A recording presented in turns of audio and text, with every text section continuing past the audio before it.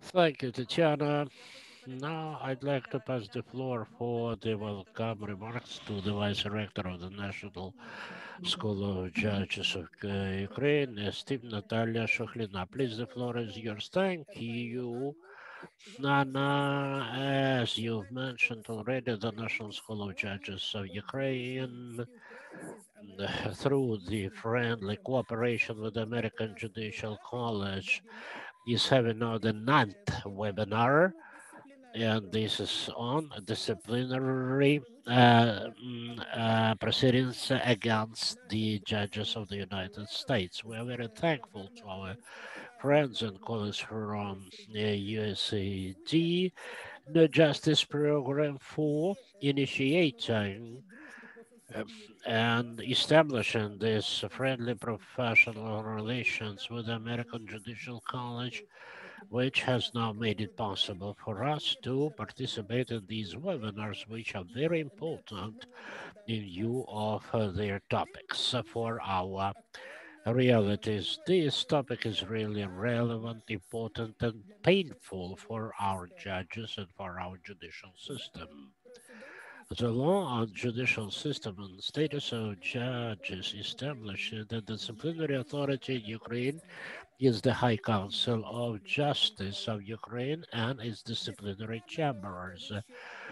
The disciplinary chamber of this council conducts disciplinary proceedings and the High Council of Justice then can review their decisions as an appeal instance. Uh, the law on judicial system and status of judges also identifies the grounds for application of disciplinary sanctions against a judge. But we can say that the mechanism of uh, the implementation of this uh, disciplinary liability of judge uh, uh judges is far from being perfect.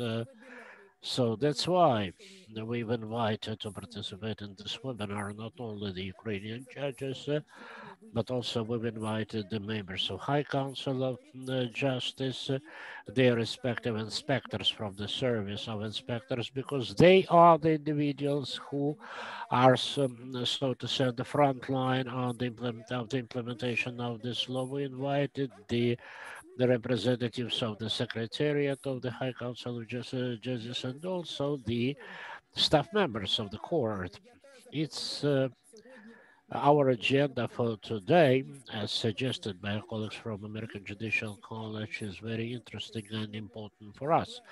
Important and interesting from the professional point of view, because here I think we'll receive answers to very important question. How does the disciplinary liability institution works in the United States. What is the mechanism to ensure that the judges comply with the code of ethics and code of judicial conduct? What are the criteria and grounds for uh, holding uh, judges liable through disciplinary procedures? Also, an important point is um, uh, about the criteria of how to strike the right balance between uh, the uh, disciplinary liability of judges and respect for their private life. Uh, also, we wonder who can initiate disciplinary compliance against a judge.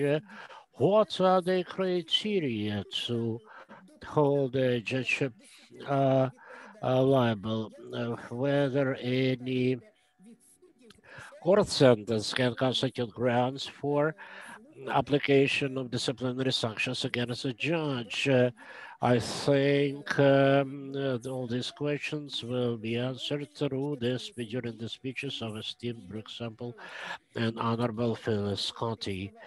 Uh, we want to thank uh, the New Justice Program and the employees of American Judicial College.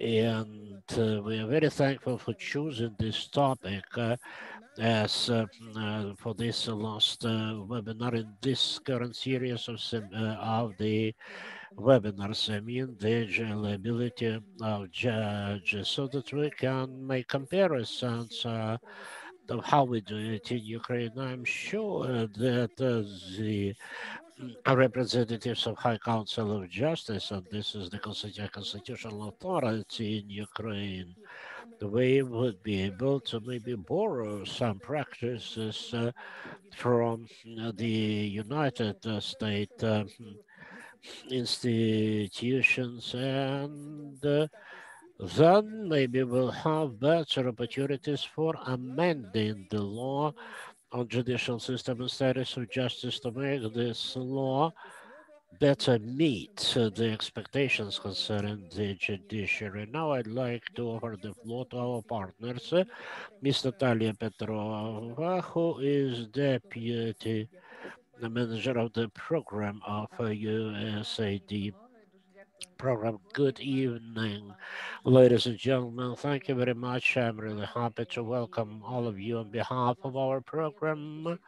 I certainly support all these uh, good words um, said uh, with regard to our partners from the National Judicial College of the United States. Uh, indeed, uh, this event concludes a cycle or series of the webinars which have um, drawn attention of many judges who participated in these events. They certainly then shared the received information with their colleagues. All these webinars were recorded and all of those who have such desire can really uh, reproduce them in your computers. Uh, talking about uh, disciplinary liability of judges is a very important topic. The institution of disciplinary liability is the reverse side of judicial independence. And the disciplinary liability of judges is an element of judicial accountability because independence of judiciary and of each specific judge is not absolute. Uh, we know from a number of international documents that judicial independence uh, as a principle and as a, as a guarantee is granted to judges not just for their benefit, but for the benefit of all those who seek judges expecting unbiased decision of his or her case according to the law. So the disciplinary liability is an extremely important institution within the um, system of public authorities. The parliaments of the countries decide how the system should be operated. Recently, we amend that constitution, including the provisions on High Council of Justice, uh, and you know this institution of disciplinary, disciplinary liability uh, has was amended. Also, you'll hear about serious differences between us and the United States with regard to confidential uh, confidentiality of disciplinary proceedings. I'll tell you then that when we had the debates um, at the Presidential Commission in 2016-17, there were some thoughts that maybe uh, the fact of uh, filing a complaint against a judge should not be made public right away because the facts can be confirmed or not confirmed and that may certainly have impact over the reputation of both judge and the judiciary as a whole. So I don't want to take uh, any more of your time. I want to thank our colleagues uh, from Judicial College, the Brooks Sample, for uh, this uh, laborious efforts that uh, she has implemented to make sure that all these nine webinars are conducted successfully. Thank you. Good and interesting event and good discussion to all of you. Thank you, Natalia. Now let me offer the floor to the uh, legal advisor of the National Judicial College in Nevada, United States. This is Brooks Sample. And also I'd like to support uh, the uh, words of thanks uh, that have been expressed by Ms. Petrova and also uh, on behalf of our school, I want to express our gratitude for this highly professional cooperation between your college and National School of Judges of Ukraine. Our thanks also on behalf of all participants of today's webinar. So actually the floor is um, offered to Brooke Sample. Thank you very much for that great introduction. And thank you everyone for joining us. We have enjoyed uh, putting this series on for you and hope that you have found each of the webinars uh, to be informative and helpful to you and your work. It's my great pleasure to introduce the Honorable Phyllis Williams Kotey. Judge Kotey is senior judge, came to Florida International University College of Law in Florida here in the United States in 2004 with a distinguished record of service to the bench and bar. She is a clinical professor of law and director of externships and pro bono programs. As director of the legal externship program, she has assisted students in judicial, civil, and criminal placements at the local, state, and national levels. She has facilitated student initiated pro bono service in Colombia, South America, and around the, the country, including New Orleans, Louisiana, here in the US, after Hurricane Katrina. In 2012, she was selected as a Fulbright United States Scholar for the 2012-2013 academic year in Accra, Ghana. Judge Kotey has taught criminal procedure, children in the law, the American Caribbean Law Initiative Seminar, and community law teaching, street law in the Miami-Dade Juvenile Detention Center in Florida. She also teaches bar preparation courses in the areas of Florida constitutional law and Florida criminal procedure. She is a member of numerous bar associations, the author of Public Financing for Nonpartisan Ju- Judicial Campaigns, Protecting Judicial Independence while Ensuring Judicial Impartiality, and The Real Costs of Judicial Misconduct, Florida taking a step ahead of the regulation on ju- of judicial speech and conduct to ensure independence, integrity, and impartiality, among other publications. She holds a bachelor and master degrees and her Juris Doctorate from the University of Florida. She is an alumna here of the at the National Judicial College, and she joined our faculty in 2001 and is considered one of our distinguished faculty. She is currently serving her first term on the National Judicial College Faculty Council. And with that, I turn the floor over to the Honorable Phyllis Kotey. Thank you. And good day. I bring you greetings from Miami and we'll be speaking to you for the next hour or so on the issue of judicial discipline in the United States. Next slide. It is our hope that as a result of, of this webinar, that you will be better able to identify speech and conduct that may constitute judicial misconduct and violate judicial ethics, uh, describe the components of effective judicial disciplinary proceedings, and balance that, of course, with judicial accountability and independence. And hopefully we'll do that by looking at examples, next slide, and understanding the importance of judicial misconduct proceedings.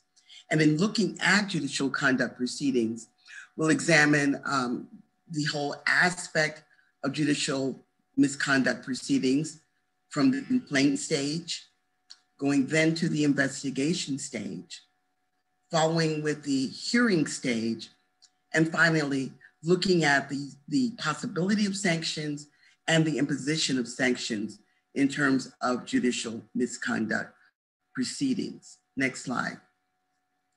When we talk about this issue of disciplinary case considerations, one of the most important uh, considerations that we will discuss today is listening and understanding the role of media and the role of citizens in initiating disciplinary cases for judicial conduct.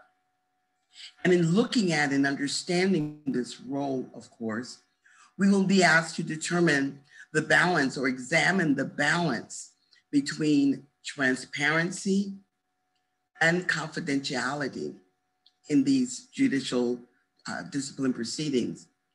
And finally, uh, learning or looking at the obligation um, of judges and their responsibilities as it relates to reporting judicial obligations and reporting misconduct that may be observed by a judge. Next slide. So we'll start off by looking at this issue of the judiciary, the public, and media, and examining the roles that um, each of these entities uh, can play in looking at judicial misconduct or judicial discipline proceedings. In beginning our discussion, next slide, about this, I'd like to introduce uh, Justice John Paul Stevens. Uh, justice Stevens um, was a Supreme Court justice or a justice in the highest court um, in the United States until he retired in, in 2010. Uh, but Justice Stevens spotlighted or created a spotlight on the role of media in shaping public opinion about the judiciary.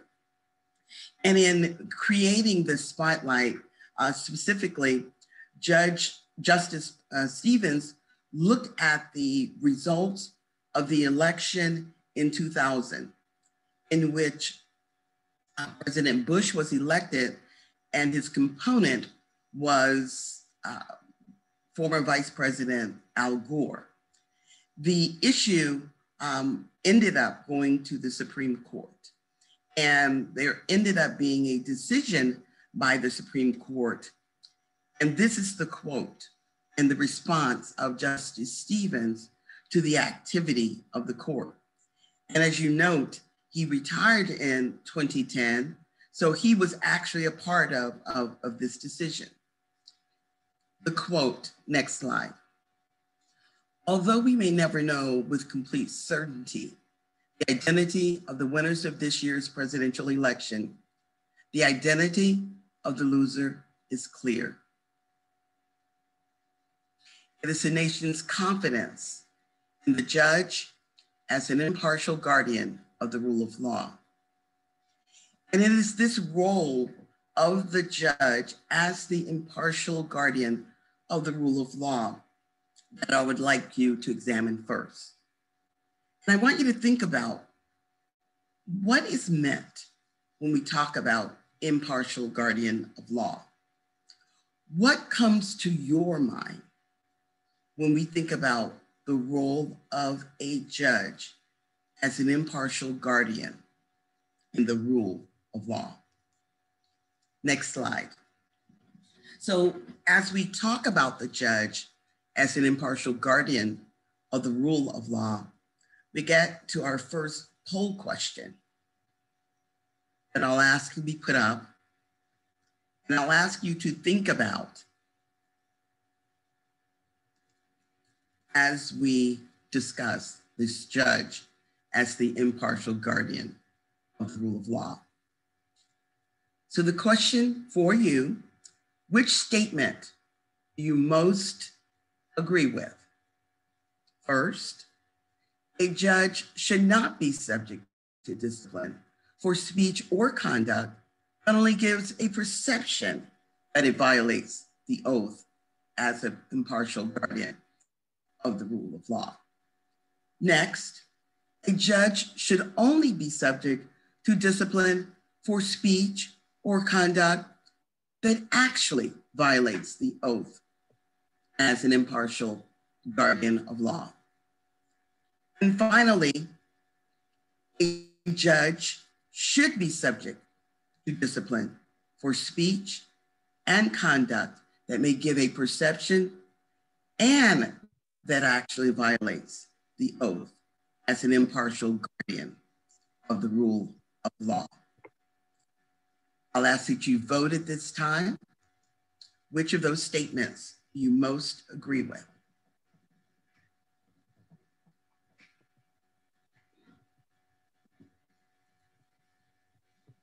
With which of those statements do you most agree with? Шановні учасники, голосуйте, будь ласка. Dear participants, you're invited to vote.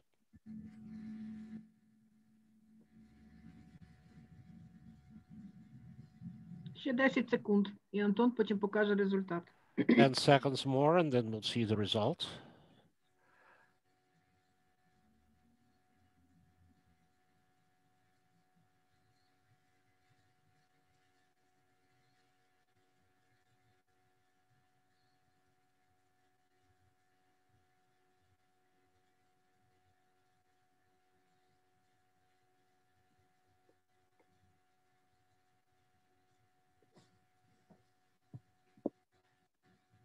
Thank you. So as I as we look at the polling results, eight percent of you thought that um, this the perception uh, should subject a judge to a violation of the um, to a judge if there's should subject a judge to um, discipline if the violation is in, is is a is a perception. Um, interestingly enough, most of you looked at the issue of only if the judge actually actually violates this oath as the impartial um, guardian of the rule of law should they be be be disciplined.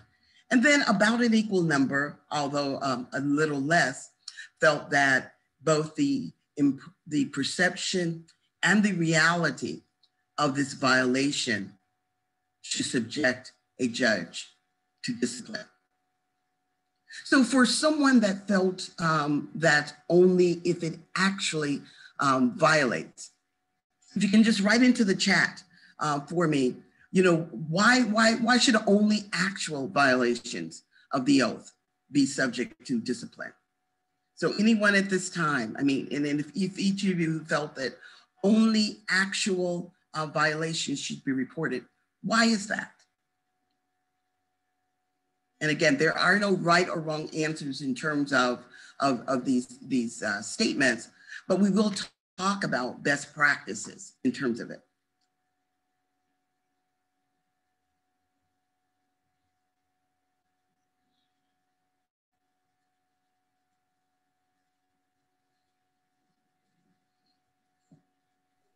I'm unable to see. So are we getting comments or not? It will sometimes takes just a few minutes for them to come in. And judges, we welcome you to explain your answer of why you believe that um, it should just be actual violations. And you can send a chat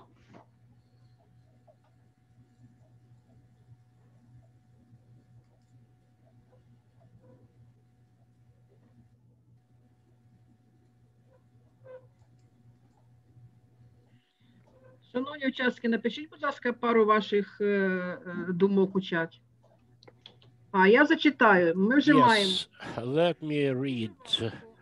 It's very difficult to assess objectively unless there has been the actual violation.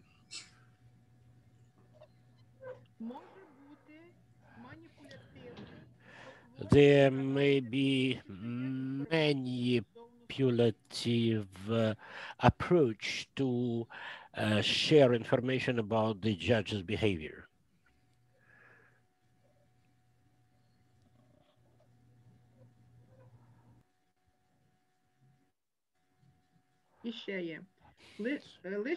Only actual speech or behavior would undermine the uh, reputation of the judiciary and generate distrust. Uh, another one, the, the punishment should be predictable. An individual needs to understand very clearly what is improper behavior.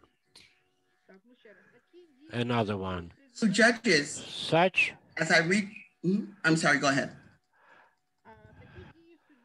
such uh, actions, uh, if such actions of the judge have uh, led to violation of citizens' rights, uh, to protection of which is actually the judicial obligation. Another one, if I may, the judge should uh, be responsible for specific actions, not uh, perceptions, because a perception may be mistaken. So, what about some of you or any of you that identify um, the, the third question as being your the statement you agree with more? That a judge should be subject for both the perception um, and the actual violation. Why did you think perception should be included? And again, just writing into the comment.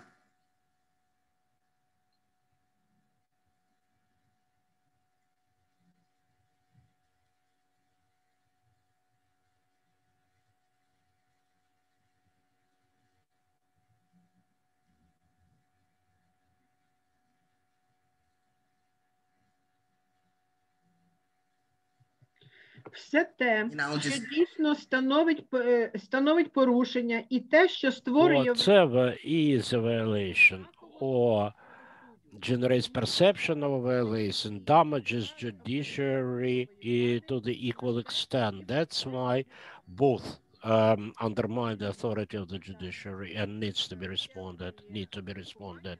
Another consideration, if a judge is subject to liability for a behavior that uh, creates perception of a violation, then the controlling authority will have nothing to do but checking all the actions of the judges and then uh, uh, we cannot even talk about any trust but i think that was the uh, group two uh, the previous group uh, All right, thank you. So, so judges, as I Uh, look at your responses and as we read your responses, your position and the division in the responses um, duplicates the feelings that, that, that generally many judges have felt in the United States. Um, being that only um, actual misconduct should be the subject of a violation. But that has not come to be true or come to be the practice in terms of the code that looks at judicial uh, misconduct. In the United States, each state has what we call a code of judicial conduct. And we have a model code that um, each of the states has, has mimicked or copied uh, in terms of creating their own state's code of judicial conduct. And one of the things that the state code of judicial conduct and the model code of judicial conduct, which we'll be using um, as a general reference here today, is that, next, this slide, public confidence is eroded by irresponsible and improper conduct. And, and irresponsible, improper conduct can be exemplified either um, by actual misconduct or by the perception of misconduct. Second, that respect for the judicial office really facilitates the orderly conduct of judicial functions, absent perceptions and, and, and, and, and things that may interfere with ability, the ability of individuals to have confidence in what the judge is doing. So the bottom line is that perception matters. When I when I talk to judges about the fact that perception matters, one of the things um, that that we we point out is that you are a judge 24 hours a day, seven days a week, in spite of your your feeling that this should not be the case. And in looking at discipline, this is exactly what has happened. Next slide, please. A judge in Texas was, was, was, was disciplined for this comment. He wrote, after just one day in office, Trump has managed to achieve something that no one else has been able to do. He got a million fat women out walking. Now, the judge, in posting this particular comment, created outrage, from many others who saw and observed this behavior. However, one of the things that, that immediately came to mind for others is this is simply perception. The judge has not done anything to anyone. The judge has not acted as a judge in any way. But that position did not uh, come to be the majority position in terms of what, that, what happened. So the question for us becomes next slide did this judge face discipline for this behavior? Did the judge, was the judge subject for to disciplinary action for this behavior? So one of the things we find out as we look at disciplinary uh, behavior in, in and, and conduct in, in the United States is that it will differ from state to state. But there are general principles that would apply. So in, in Texas, where this case actually um, occurred, because of confidentiality rules governing the investigative functions, the disciplinary board or individuals that was in, were in charge of the discipline could not confirm or deny the existence of a investigation against this particular judge for this particular behavior. And it is interesting to note that if in fact there had been um, some sort of disciplinary action against this judge and it was dismissed, the results and everything about it would have remained confidential. So, what happens as a result of these um, rulings that keep such behavior confidential? Next slide, please is that the issues of transparency and confidentiality come to light. It is incumbent that we balance the transparency and confidentiality and understand that they are key components of judicial discipline proceedings. But it's not enough for us to know that transparency and confidentiality are key components. We need to understand how transparency and confidentiality will come to play in looking at the proceeding. Because unfortunately, or, the position of many, as the confidentiality uh, remains intact for such proceedings, is that judges hide what is happening for other judges, is that judges cover up behavior of other judges, and that judges are not transparent in terms of what is happening so that it becomes very important for us to examine this balance between confidentiality and transparency. And the media, next slide, plays a key role in helping the public to understand what is happening in terms of judicial proceedings. First, the media can play a very important role in identification of this improper conduct. For example, what happened in this particular case with the judge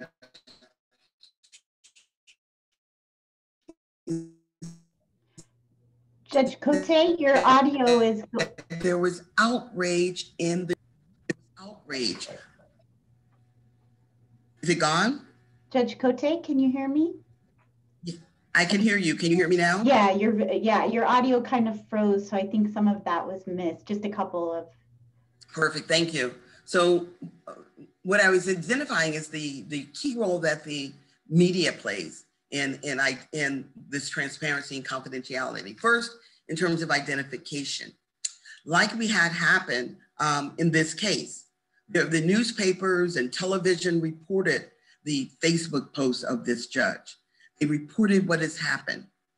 Along with reporting the conduct of the judge um, in the post on Facebook, the, the newspaper also educated the public about the complaint process.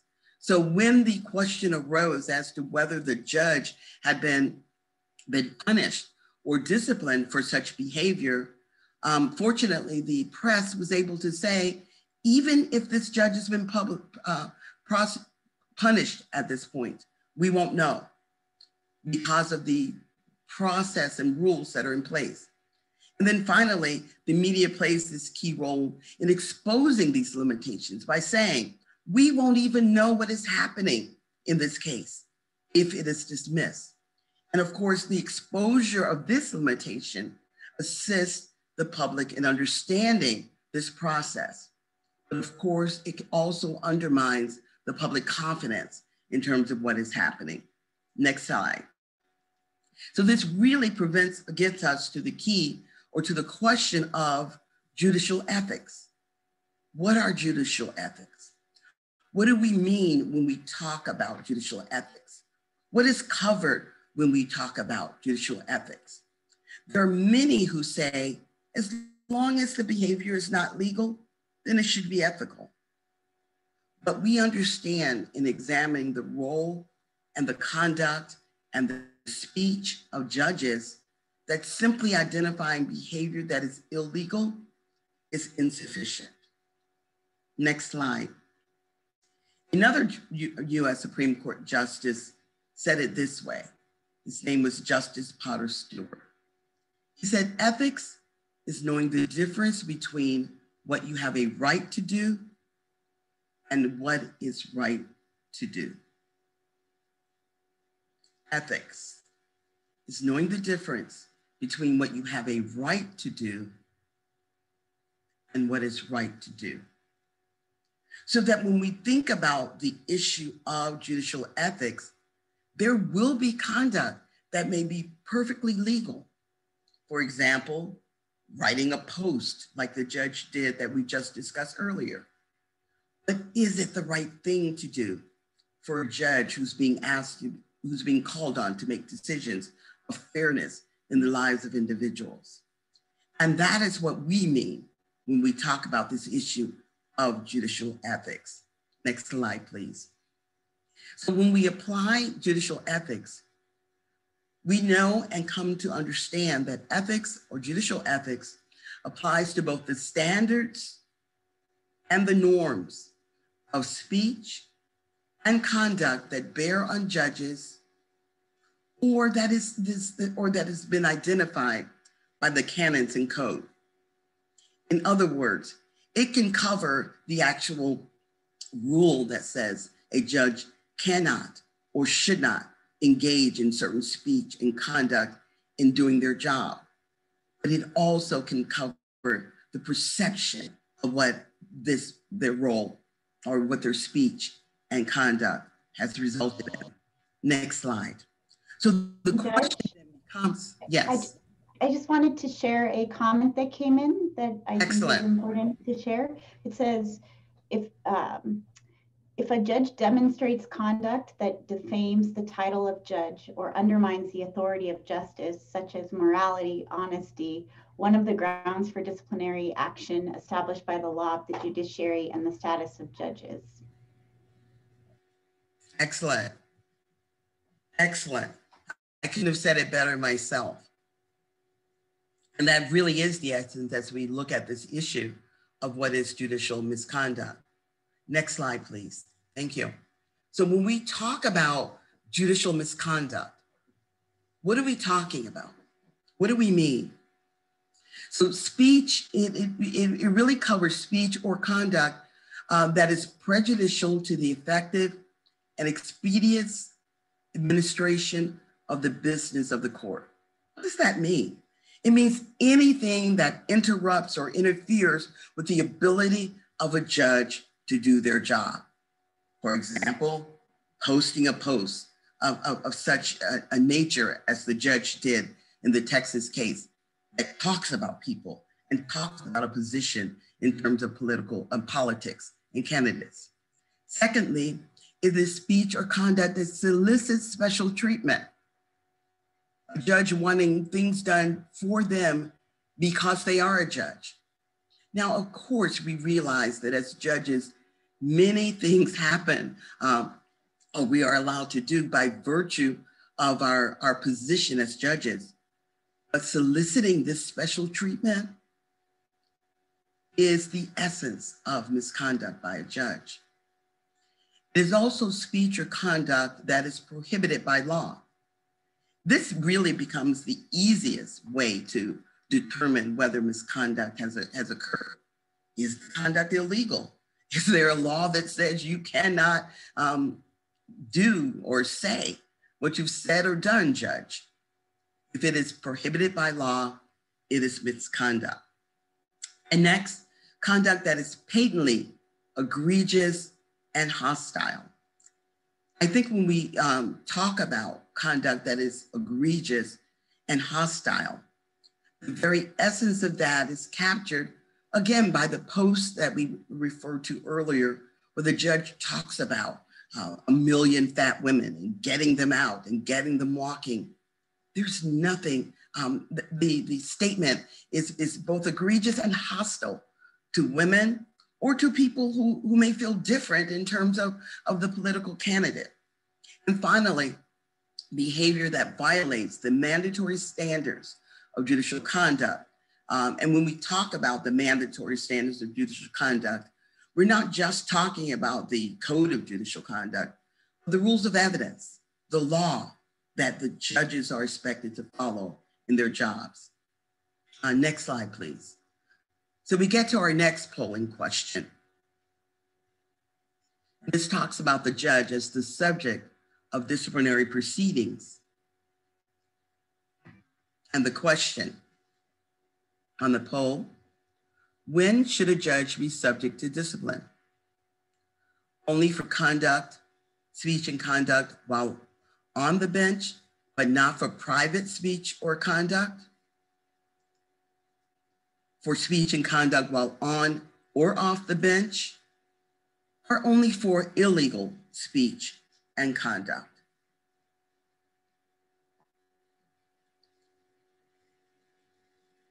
So if you can take the poll at this time.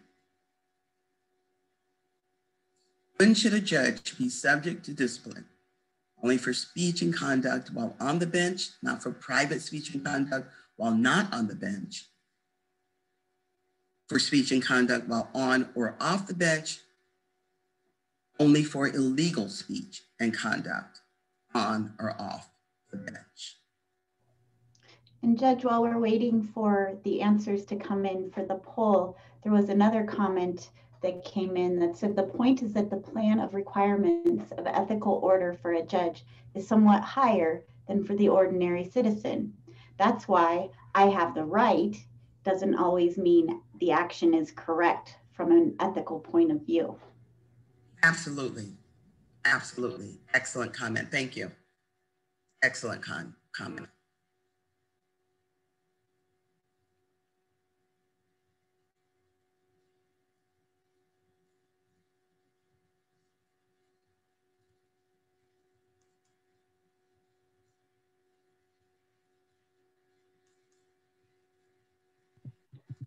Shimon, you just 10 second. 10 more seconds. Запитання.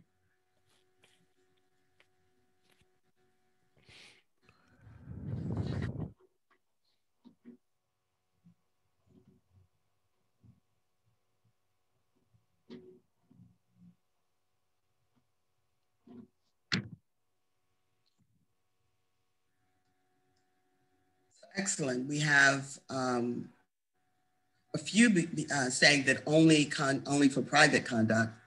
um, most of you finding that for speech and conduct while on or off the bench. And then um, a, a few of you saying that only for illegal speech and conduct. So if we are going to publish judges, punish judges for their speech and conduct, next slide, the question really becomes for us is how do we how do we how how will we decide how to punish a judge? How would we determine what is a violation?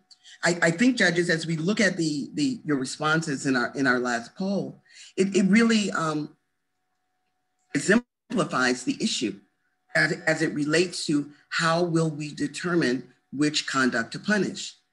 Is it conduct in my private life? Is it conduct while I am on the bench? And I think all of us would agree clearly any conduct that occurs while on the bench would, would, would, would be a violation or should be open to, to being the subject of violation.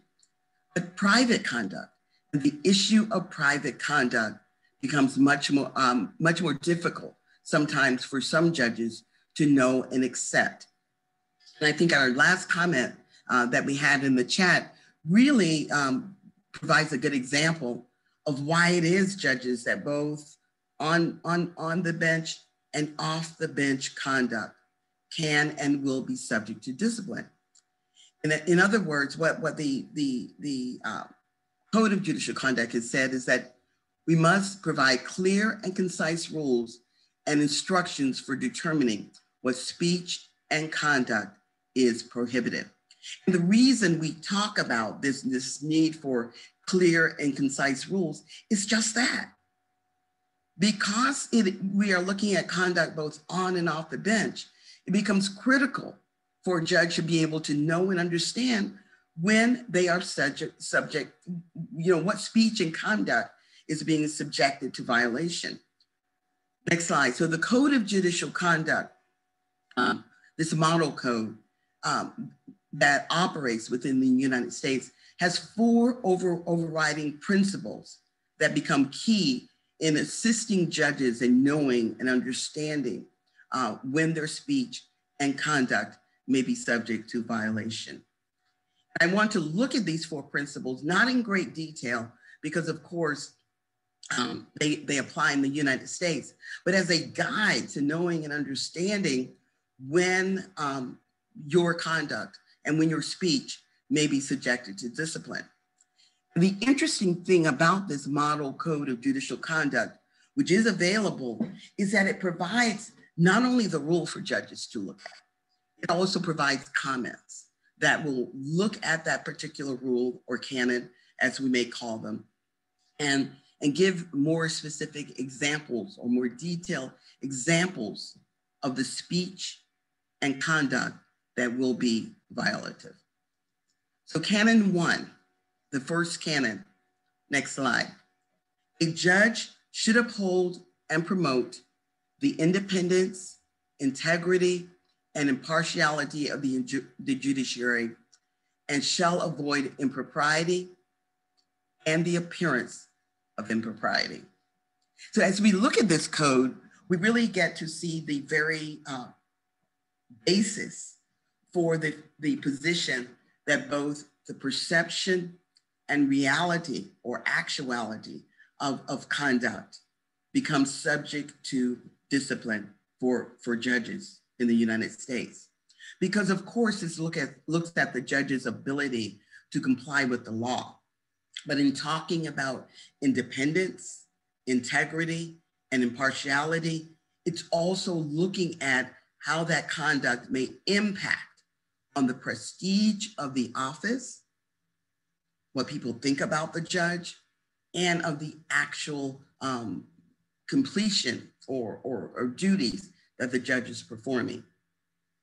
Next slide, please. Canon 2 says that a judge shall perform the duties of judicial office impartially, competently, and diligently. And it is to this canon that judges look not only to your behavior on the bench, so it covers um, looking at the adherence to the rules of the court, um, impartiality and fairness, um, looking at the issue of bias, prejudice, and harassment. And when we talk about the, the, the, the bias, prejudice, and harassment, it's not only of, of, of, of the judge, but of individuals in the court appearing before the judge, both lawyers, litigants, and witnesses, looking at external influences on judicial conduct. What is the judge involved in? What is the judge doing? Um, looking at the right to be heard of citizens as they appear in front of, of, of judges, looking at the right to, to have judges not con- comment on pending or impending cases, looking at the demeanor of, of, of jurors and judges if, if people are being asked to make a decision about the case, understanding the role of the judge as the supervisor, And, and, and as such, people that are, are under the supervision of the judge acting responsibly as well. Looking at the, um, the ability or disability of the judge in terms of illness, um, and then last but not least, responding to any sort of uh, misconduct. So once accused, the responsibility of a judge to, to, to, to respond to any public or private inquiries as to may, that may exist. Next slide. And then looking at um, canon three, the judge should conduct the judge's personal and extrajudicial activities to minimize the risk and conflict with judicial obligations. Now, as you look at this canon, what you should see evolving is a pattern. And this pattern is that judges are under scrutiny both on the job and off the job, on the bench and off the bench. And in the event that this is not clear, Canon 3 makes it clear. It looks at the personal and extrajudicial activities. So we're not even talking about activities that you may be, um, or speech that you may be pursuing or engaging in as a judge, but what you're doing in your personal life and your extrajudicial life. And this canon making clear to judges that you are under the rule of the Code of Judicial Conduct in terms of, of your, your conduct uh, and your actions, um, but providing the basis for doing that. And finally, next slide, looking at Canon 4. And this was uh, really looks at judges as, as candidates for judicial office and, and, and indicating that a judge should not engage in, in political or campaign activity that is inconsistent with the integrity and impartiality of the judiciary. Now, in looking at this particular canon, um, what you'll see in the United States is the difference in terms of how judges are selected, uh, determining how this particular canon would apply. For example, in our last selection of Justice Barrett um, in our in as a Supreme Court justice, um, we, we noticed that, that many people were being lobbied. Many of the legislatures were being lobbied in terms of, terms of their vote.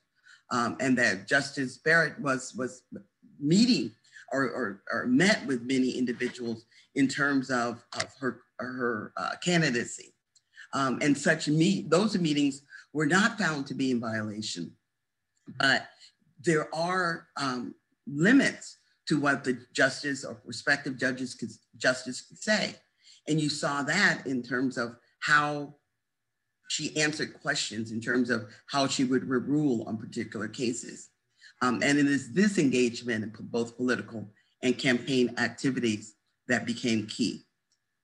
Uh, next slide and our next poll. So let's look at the judge as the reporter of misconduct. The judge as the reporter of misconduct. And let's get to our poll question. Next slide. What conduct should a judge ethically be required to report? So, what conduct should a judge ethically be required to report? Our first comment is the misconduct of lawyers who appear before the judge illegal conduct of lawyers and litigants that appear before the judge, misconduct of judges that appear before the judge, misconduct of lawyers and judges that appear before the judge. So I want you to think about um, each of these, these um, responses in terms of which one best represents what a judge, what conduct a judge, and when I say conduct, I mean speech or conduct that a judge should ethically be required to report. What speech or conduct?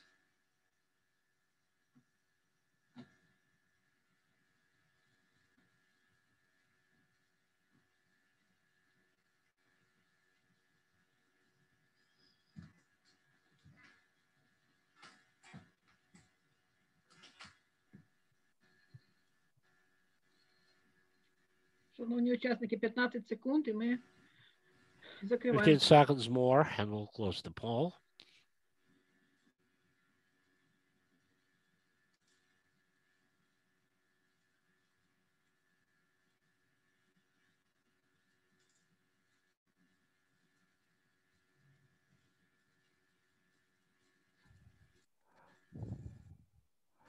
Very interesting results. So we have um, 4%, a small, a small percentage saying the misconduct of lawyers who appeared before the judge. A, a 25% saying illegal conduct of lawyers and litigants who appear before the judge.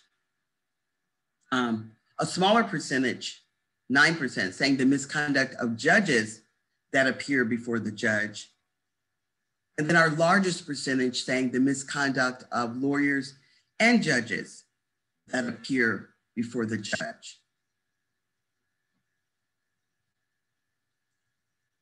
So I'd be interested in hearing comments, um, if anyone has any within the chat, why you uh, took the position that you did.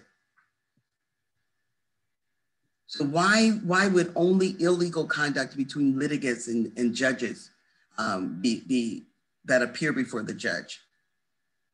Why would you feel that judges, um, and I think that was our second choice, why would we feel that, that, that judges should not report other judges? Or it could be that in looking at that statement, it's, well, illegal conduct should be reported um, in addition to misconduct as well. Then the misconduct of judges that appear before the judge or that occurs in the presence of the judge. We notice that a very small percentage. So why, in fact, that'll be the question. Why would, why shouldn't we report the misconduct of judges that appear before, uh, that, that judges are aware of? I guess we don't really appear before them, but that judges are, are, are aware of. Should you be required to report the misconduct of judges that you are aware of? And if you can tell me in the chat, why you think we shouldn't report, or I get, um, or, or why we should report this misconduct. And I'll wait for the comments to come in in the chat, and we'll take a couple before going on.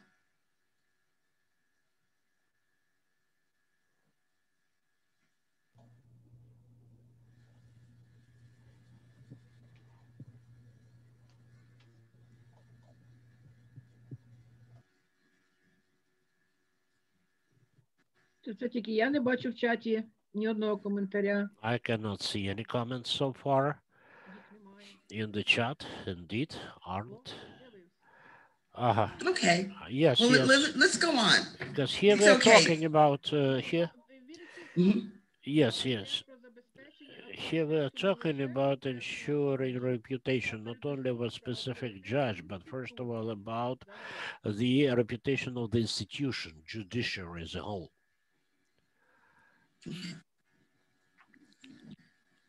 And I certainly think that captures the essence of the position of judges reporting other judges.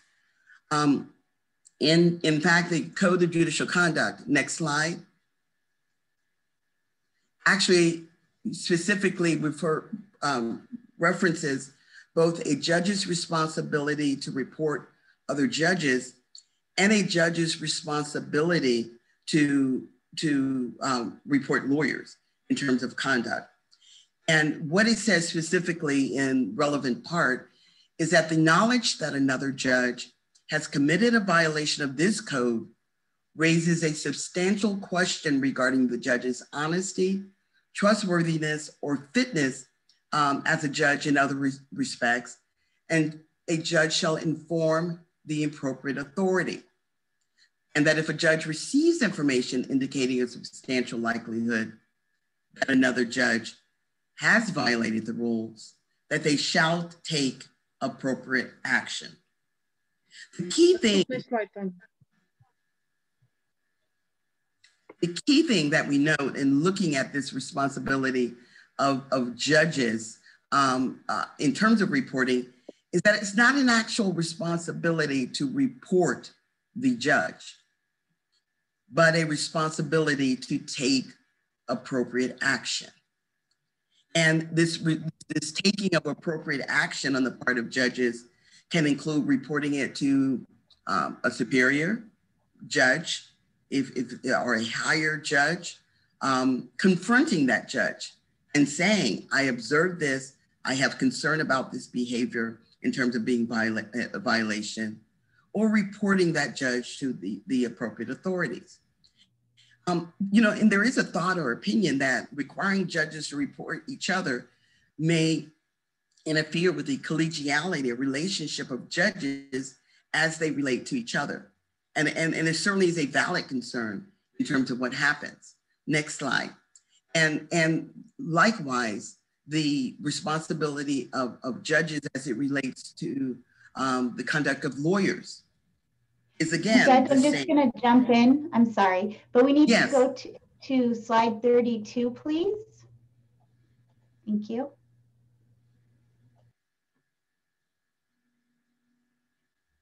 Thank you. So what each of each of these um, the, the, these particular uh, aspects of the model code talk about is the responsibility of a judge to inform the appropriate authority as it relates to lawyers and to take appropriate action. And this, this applies whether it relates to the conduct of another judge, a lawyer,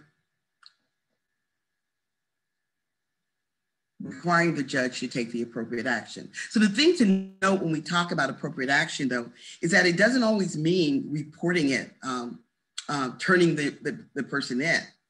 And, and, and our rules of professional conduct have found taking appropriate action to include such thing as talking to the person, referring it to a local um, committee or to a committee of, of judges or lawyers in terms of handling that behavior. Um, let's go to our next slide. 33 in terms of our fourth poll question, deciding judicial misconduct. Poll question four. And our next slide. Because if we if we look at then all of this behavior uh, in terms of what should be, be reported and who should be reported, um, who should determine if a judge engaged in speech or conduct in violation of judicial ethics? our question becomes who should decide? And our first choice is judges should decide. Next, lawyers and judges should decide. Third, public members should decide. Fourth, lawyers and public members should decide. Then our final option, judges, lawyers, and public members should decide.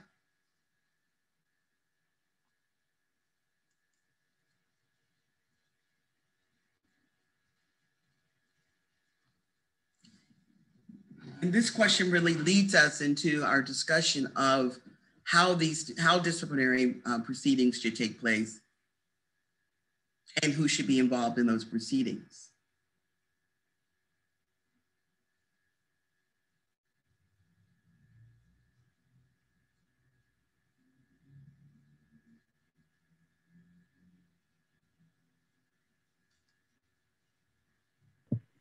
Шановні учасники, 10 секунд і ми закриваємо. You have 10 seconds, participants. We'll close the poll.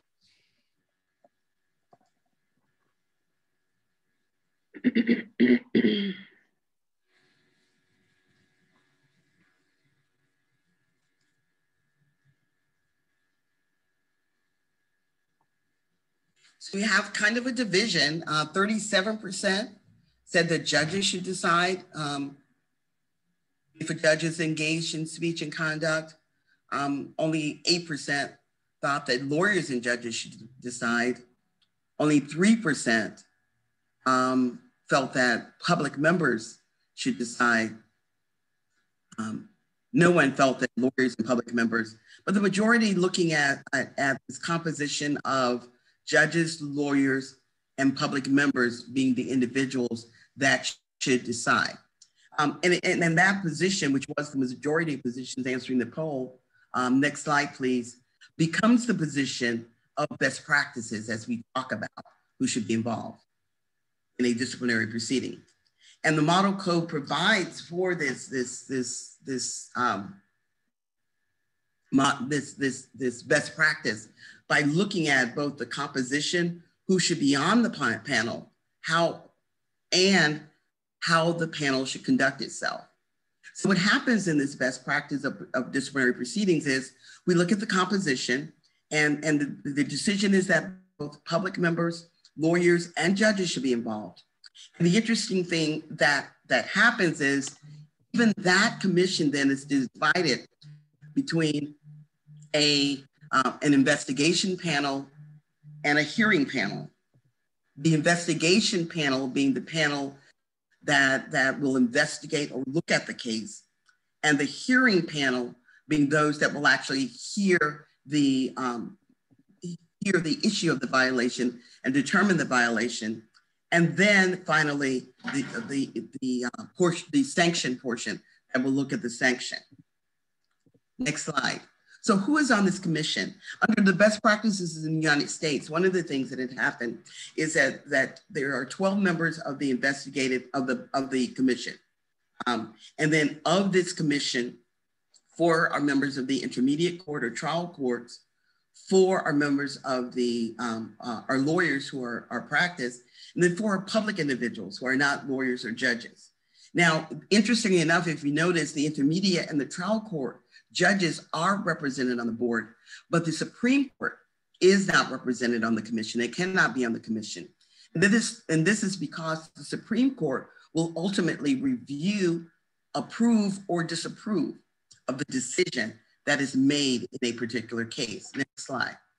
So the participation, and it is felt truly that the participation of the public uh, serves to increase the confidence um, in the judicial discipline system. And it really is, is enhanced when public members are a part. Um, and having public members be a part of the, the commission provides uh, them with an important perspective um, of, of how such conduct is, is being examined and, and, and what should take place. And the most important reason why this participation of, of the public becomes so important um, is, is, is that it avoids this, this appearance of a closed system where only lawyers and judges are, are deciding uh, if the, these violations has taken place and that the public has no say or no, no uh, ability to do anything about it. Next slide, please. So what happens then at this first stage? What happens at the beginning of, of, of, of the report of this case is that there's a screening, then there is a preliminary investigation that looks at the, the issue as it relates. Um, and many times the preliminary investigation may lead to a total dismissal of, of what has happened. Um, this can then be followed by a full investigation um, in, in terms of the, the um, conduct or speech. Um, and, and again, many times um, the, uh, the conduct or speech or investigation may result in, in a disposition after this full investigation um, and then finally, possible criminal prosecution for judges for their particular conduct. Um, and, and it is felt that, that providing this, this increased screening and investigation uh, increases the likelihood of, of the uh, confidence of the public um, in terms of the behavior that is being examined. Next slide, please. So the investigative panel um, is, is three members. So when they have this investigative panel and the, the hearing panel, remember there are 12 total, three members serve on the investigative panel, and they are separate from the remaining nine members who serve on the um, hearing panel that will actually hear the case. And on this investigative pan panels are one, a representative from each of the, the um, entities. So there's a judge, there's a lawyer, there's a public member.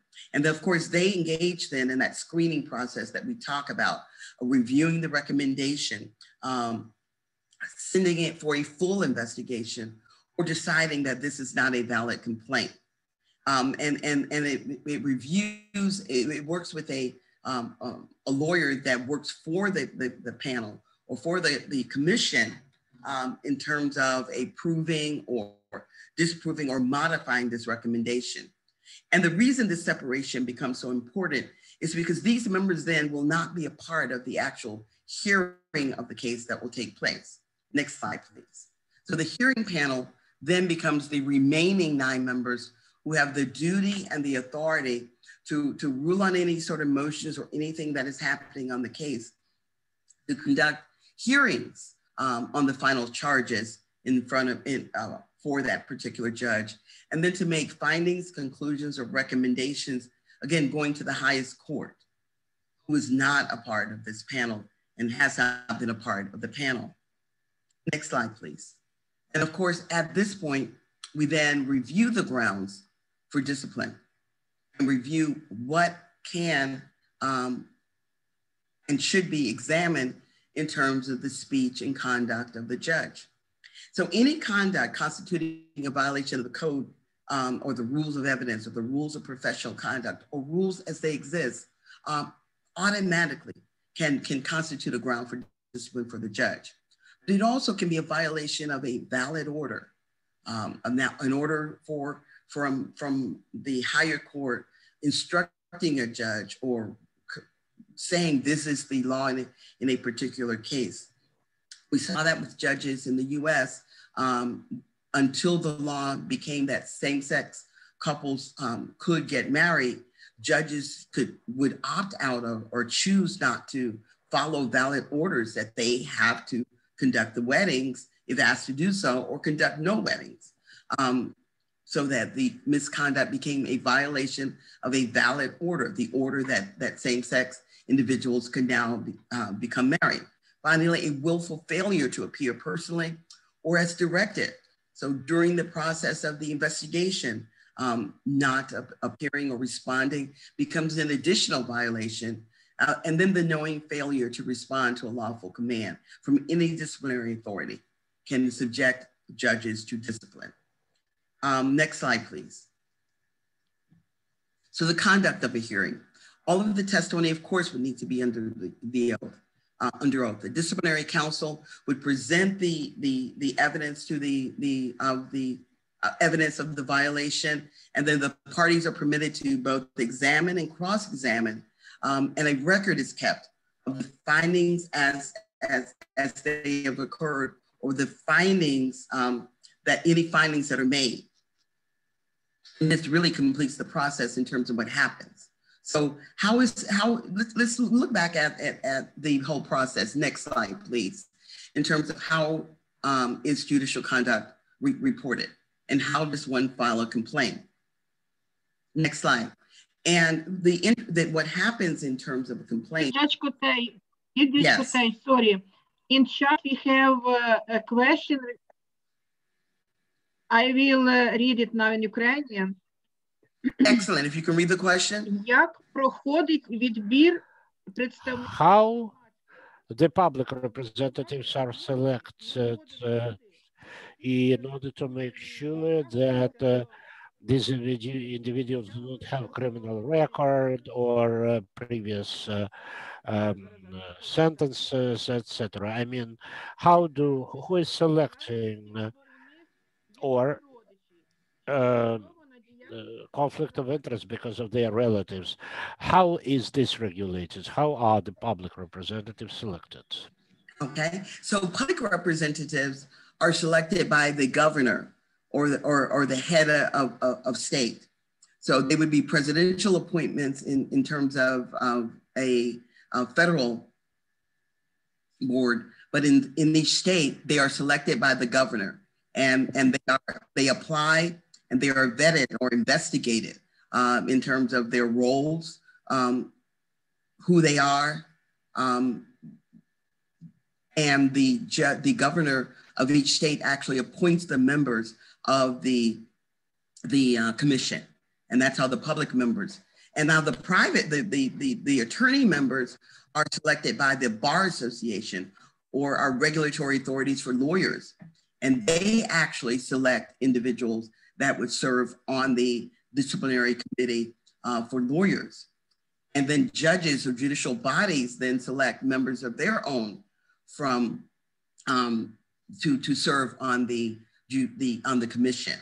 For each of these entities, there are requirements that the judge cannot have been the subject of, of discipline, um, cannot have been punished or involved in a disciplinary process. Um, and the, the, the, same is true for lawyers. Um, and it is for that reason, um, if, you, if you really think about it, why it's important that the initial uh, complaint stage may sometimes be confidential.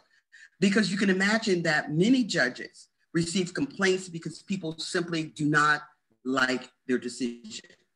These complaints are, are, are easily reviewable and are in fact reviewed and are dismissed. And in my particular state, judges are never aware of, of these kinds of complaints so that a judge can, can answer yes, that they have never been, been investigated or disciplined. And the reason the confidentiality becomes so important at this stage is because it is so, um, so open to improper influence and simply coming from a, a person that is trying to um, find fault without real reason. So for that reason, many of the initial complaint stages um, are, are, are confidential and even confidential from the judge who is the subject of it. And they never know that they've been the subject of an initial complaint because it's been easily found to have not apply. So when we think about, um, great question, thank you. So when we think about this, this issue of step one, signing the complaint, who should receive the complaint, there are all, all different avenues for how uh, the complaint reach, reaches the, the commission. Uh, members of the public, like our judge in Texas, and we're going to look at that more in detail, uh, complained about um, the post of the judge. Now, the judge immediately took the post down. But we know that in, in, in on, on cyberspace, there's no such thing as a delete. And of course, the comment was still able to be there. The press can also report such conduct by their publicizing um, or the public nature or, or publication of the information. Other judges can become the source of a complaint.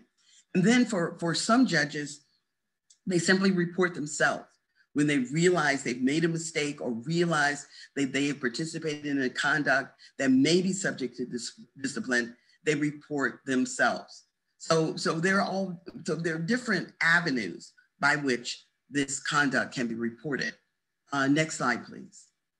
So in looking at the conduct, and I'm, I, am i am going back to the case that we used, this was the, the judge that filed the post. And, and these were the comments then that, that were, were filed. Um, I noticed you deleted the derogatory comment you made about women. Good thing I saved a screenshot. Good notice to us that there's no such thing as things that disappear. Um, and so even though the judge had, had, had posted the conduct, um, he did not apologize for the conduct, but he did delete the, the statement. It, it could then become the subject of discipline. Next stage, next, next, next um, slide. So what, what is the public's right to know? And what is the level of, of, of this, this, this knowledge that the public should be able to have?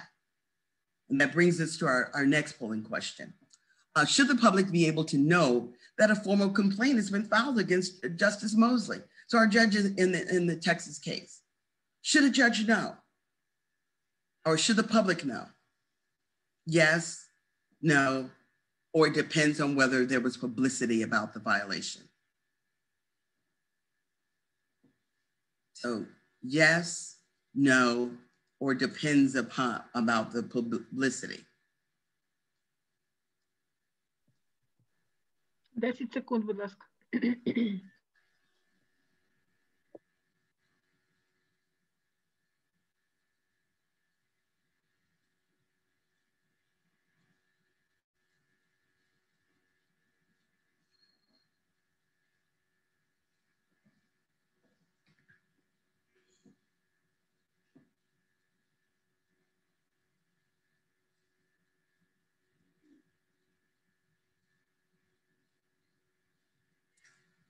We have 33% saying yes, the public should know. 13, um, 13% saying no. And then 54% are the majority of you saying that it depends on whether there was publicity about the violation. And again, remember I said how each state gets to decide um, whether such a, such conduct um, has, has, has, has, occurred or misconduct has been reported. Um, in Texas, where this con conduct actually um, occurred and where, where there may or may not have been a complaint, there was no right of the public to know at, at, at, at this point. Now, in, in, in my state, in Florida, because of the very public nature of the conduct and the fact that it had been covered by the press, our conduct co- our conduct commission will at least answer yes or no as to whether there is a complaint being being filed. But you can see where it, it, it really would depend on whether such knowledge is, is, is openly and readily available to the public so that the public's confidence can be de- decreased or, or lessened when they're, they're not told that something is happening. And, and, and that was the position I, I, I think that this our state takes in terms of why you would know if there had been such a public display of the conduct and a public report. Uh, but in Texas, um, the conduct commission would not answer the question. Now the investigate, but what would happen at that point, so we have the conduct, next slide. It goes to the investigative panel, who then reviews the complaint to, to determine whether the allegations constitute a breach, breach of the judicial canons. And then if yes, we would go to step two, and if no, then they would be immediately rejected. It's here where we note that in a state like Texas, uh, because if they find no conduct, misconduct has occurred, we would never know about the complaint. There would never be a, a, a yay or nay or yes or no about whether the conduct has, has happened, um, and no further information would be provided. However, next slide. What, what they would do in looking at the, com, com, the conduct or speech is whether there is a possible conduct, a violation of Canon 1, Canon 2, Canon 3, or Canon 4. And of course, in looking at that, you know, does the activity uphold and promote independence, integrity, and impartiality of the judiciary or avoid the impropriety or appearance? Um, I think we can look at the conduct and say it probably affects the, the impropriety. Um, a judge, canon two, a judge should perform their duties um, impartially, competently, and diligently. Um, you know, there, it raises the question as to impartiality when the judge is causing, you know, a million fat women or, or indicating um, a, a, particular feeling. And then three, a judge shall conduct their, uh, canon three, their, their extrajudicial, um, personal and extrajudicial activities.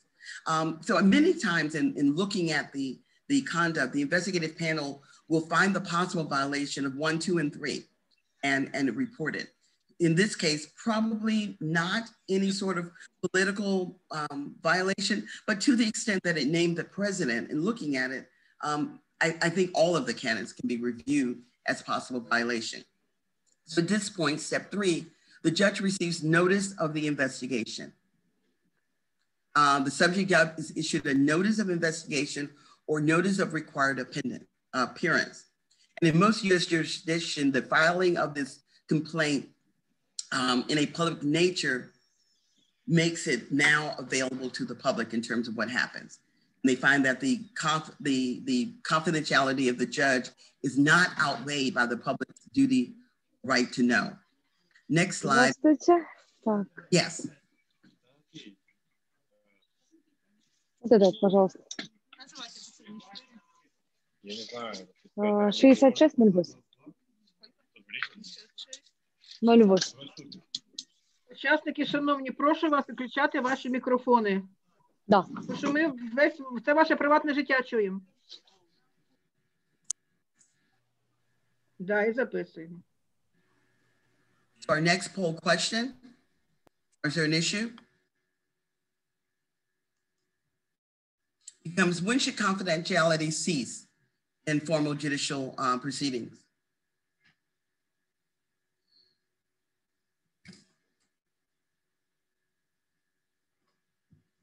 When should confidentiality cease in formal judicial discipline proceedings?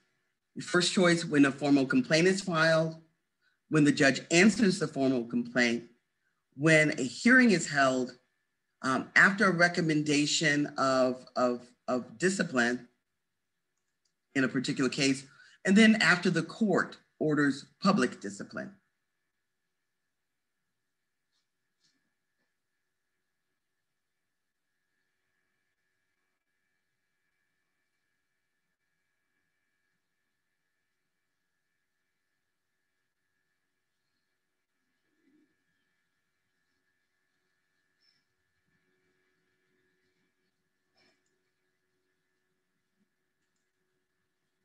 So if we can look at the poll. When a formal charges, char charges are filed, when the judge answers the formal complaint, when a hearing is held after the recommendation for public discipline, or after the court orders the public discipline.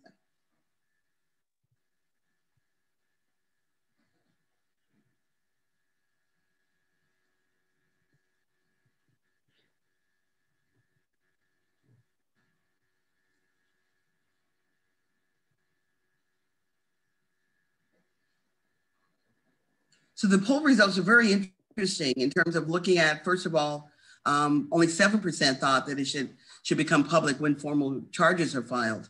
Um, no one thought that it would be after the judge answers.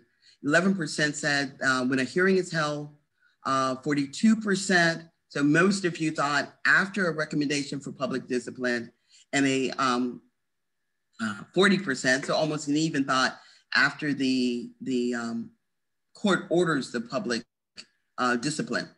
And in the United States, this has been the, the subject of some debate in terms of what happens. And interestingly enough, the majority of, of jurisdictions, next slide, in the, in the States, in the United States, find that after those formal charges have been filed against a judge, a judge that public right to know um, kicks in.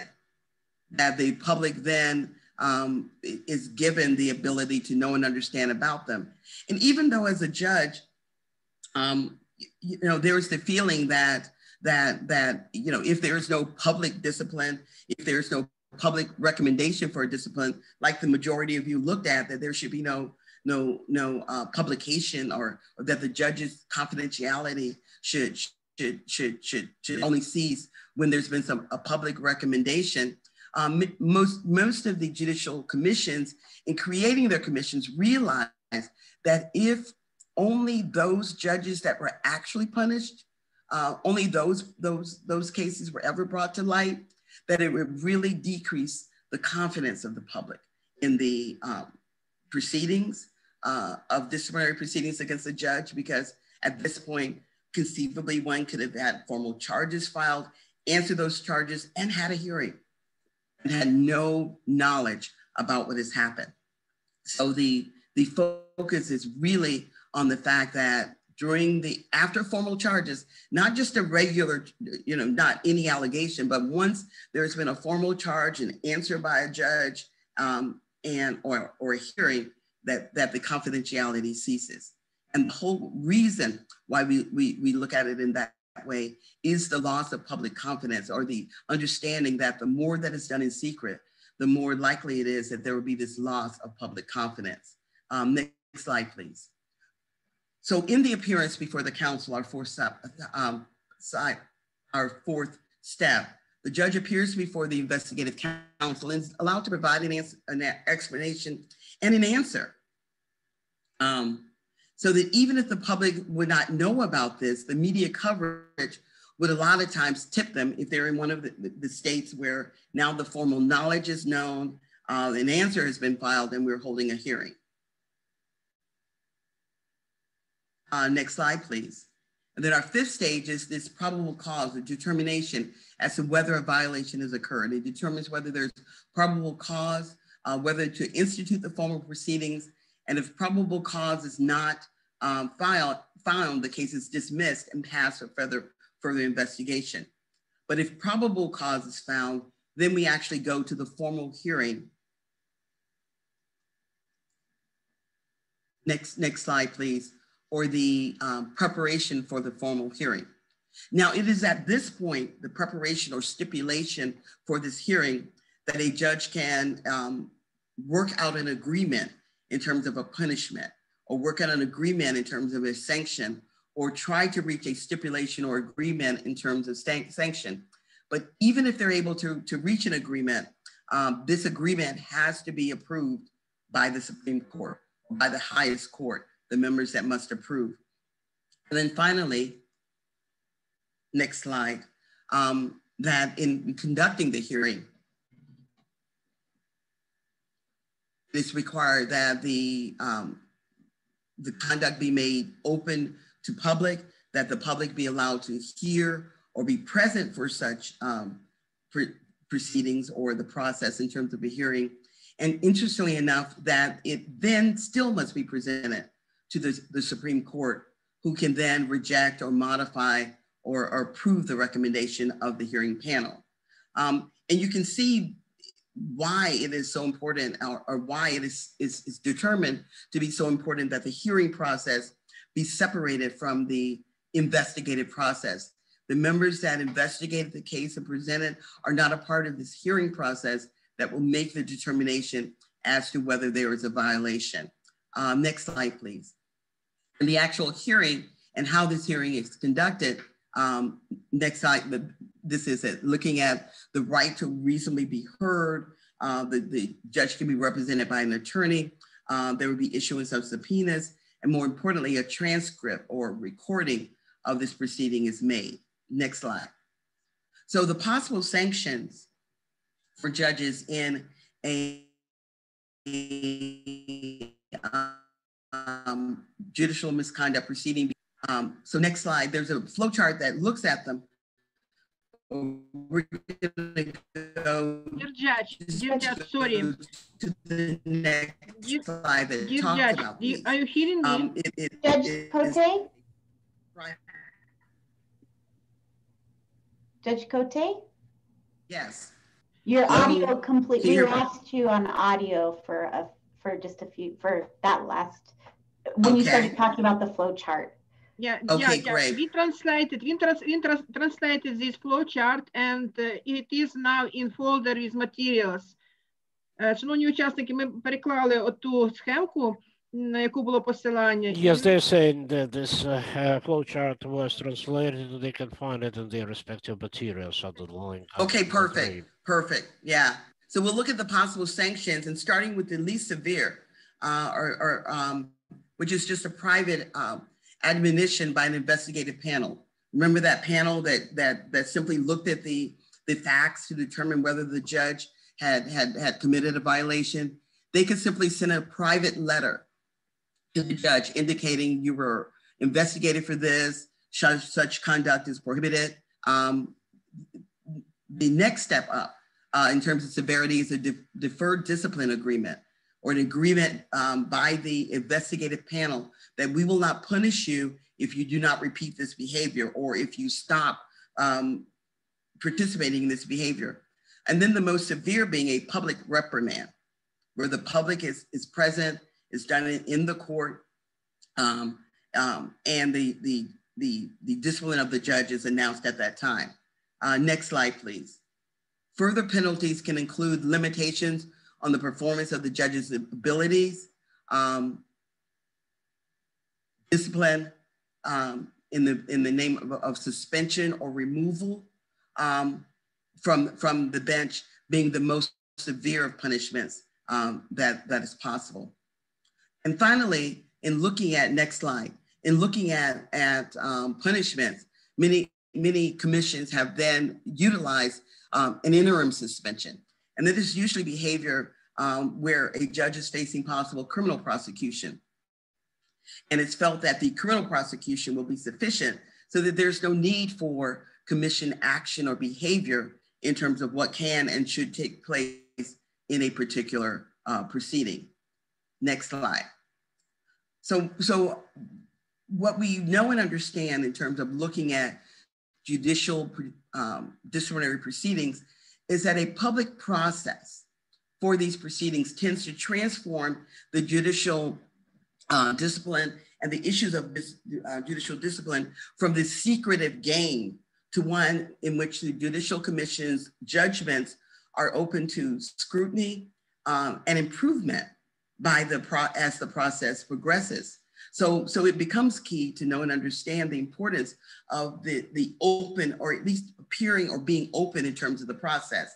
And finally, an understanding that the public's confidence in the judiciary and in the disciplinary proceeding uh, holds them accountable and requires nothing less as we think about it.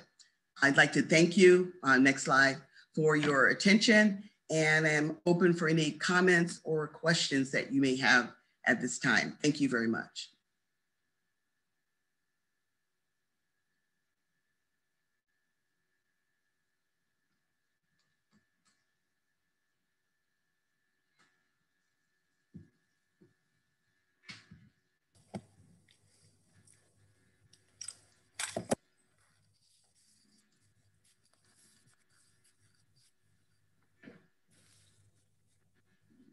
Any questions or comments? Шановні учасники, будь ласка, у нас ще є близько 20 хвилин. Esteem participants, we still have about 20 minutes. You have an opportunity to ask your questions. Let me start, if I may. Thank you very much, uh, Honorable uh, uh, Judge Kotey, for your presentation. I think that uh, all um, the participants who listened to your presentation now understand very clearly the uh, difference between the US system and Ukrainian system. And actually, we know that you have 50 states, but we could see this confidentiality requirement uh, probably that applies in all states. Uh, uh, this uh, confidentiality of the fact that a complaint has been uh, filed uh, uh,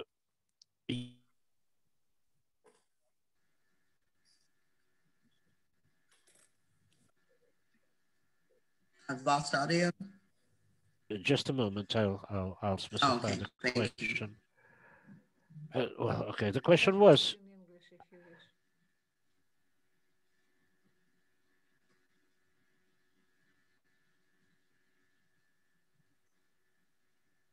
if you can, yes, okay. Uh, can you repeat it in English if you want? Because I couldn't hear the Ukrainian. Sorry. Nope. So my question, probably the question was, as far as I could hear it, whether the fact that the complaint has been filed, uh, if it is published, does it undermine the um, trust to the judicial system? Right. Don't you think that's whether it's the right thing to do right. to really disclose this fact?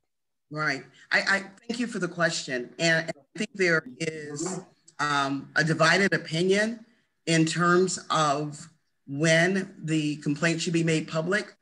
Um, I think there is a overwhelming opinion, uh, and it is a fact that every complaint should not be public because many complaints are very specious or simply because an individual did not like um, what a particular judge said or did in a particular case when the particular conduct was totally legal and ethical.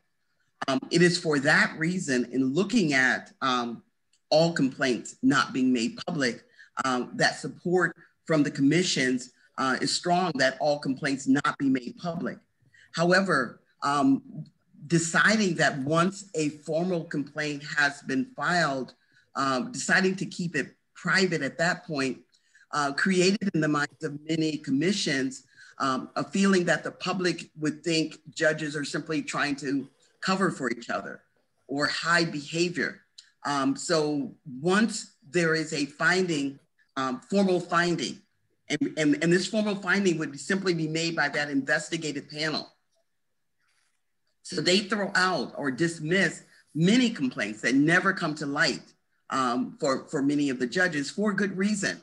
But at the same time, the filing of that formal complaint in most states being seen as, a, as an important um, place and an important time where that particular violation must be made public.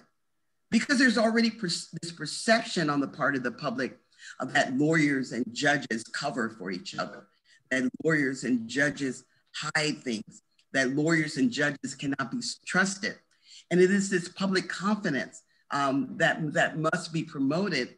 And it is in the, um, with the mind of being able to promote, promote public confidence that this position is, is, is that once a formal complaint is filed, that this knowledge should, that it should be made open to the public.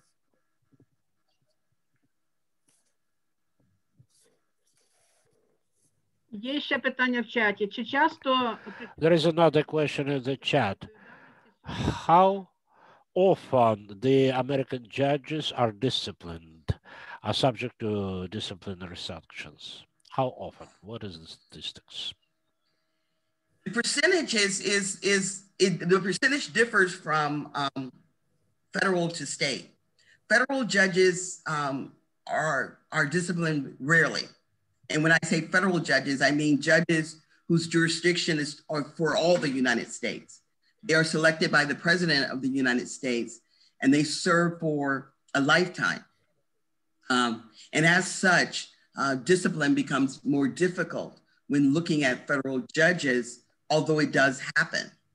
Um, in the instance of, of state court judges, um, successful discipline and the percentage of discipline, um, I, I, I, can't give you a percentage that differs from state to state. But generally, when I'm looking at them in the United States, um, several hundred are, are, are, are dismissed, are, are, are, are punished. Perhaps about fewer than 10 are totally removed. Another 20 to 30 are suspended. And uh, the majority of them, when faced with discipline, will resign and not be subject to this discipline simply because they are, are they resigned. But the numbers are, um, are, are fewer than 10% in terms of courts, but the numbers can, can are consistent in terms of removal or suspension being the, the, the least amount of penalty that you see, but the public ad admonitions or private admonitions being high in terms of judges being disciplined.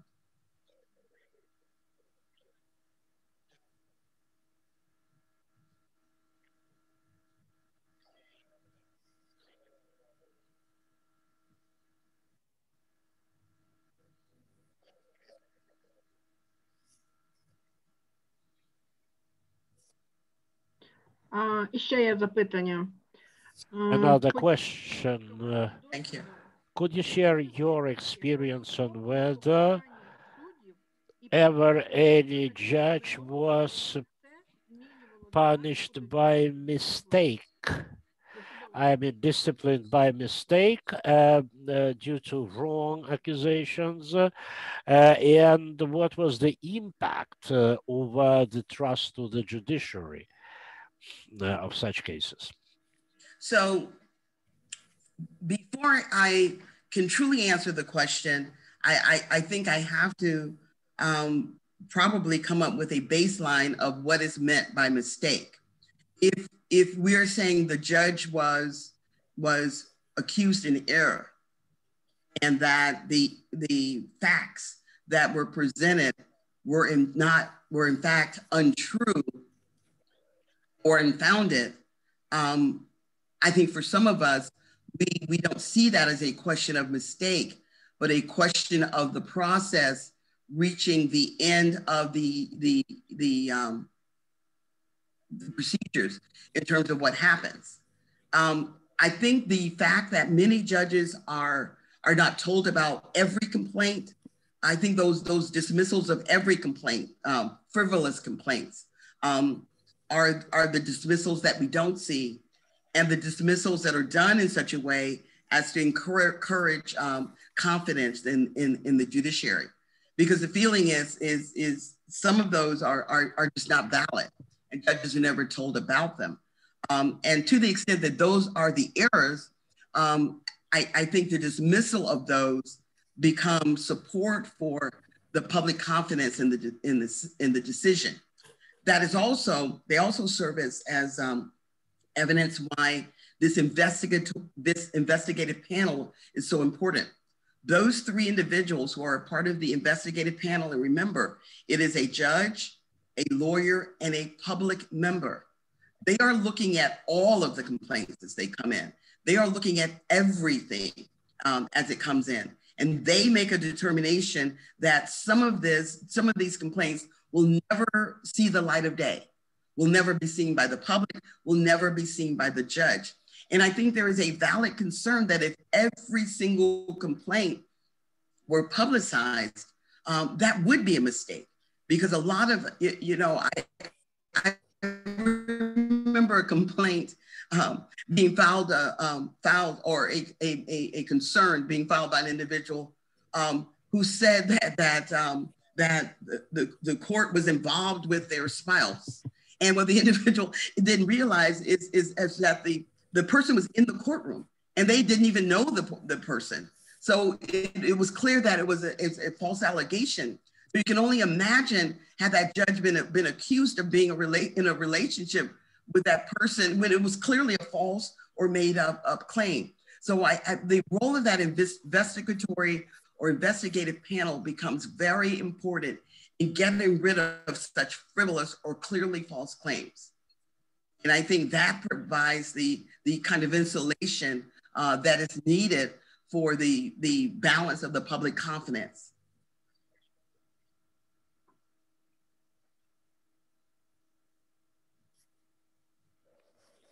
А ще запитання. Another question. Is the principle of proportionality applied uh, when the disciplinary sanction is decided by the respective authority and which criteria have impact over the final decision, like aggravating um, uh, circumstances or, I mean, how they decided?